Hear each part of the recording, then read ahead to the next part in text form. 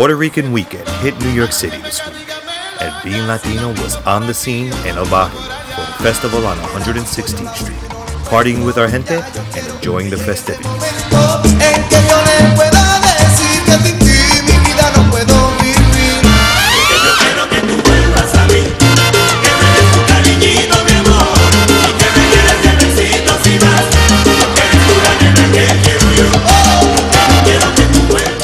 La próxima día, nos vamos al desfile.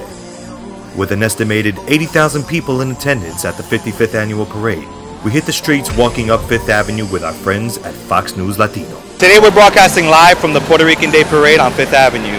Walking around talking to our gente, finding out what it means to them to be Boricua. Tell us, what does it mean to you to be Boricua? it mixed a lot the culture, promoting the culture.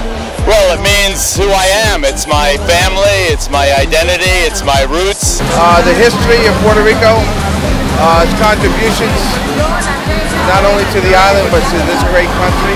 Man, me and Boricua is, is one of the best things of my life. You know, it's just it's our culture. It's the thing that that uh, so so many of us are so proud of.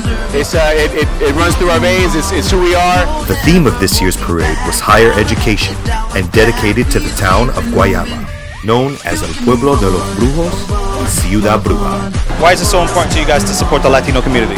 I mean, it's such a great celebration of Puerto Rican pride. Well, we're very proud to say we're the first corporate sponsor of the parade 50 years ago.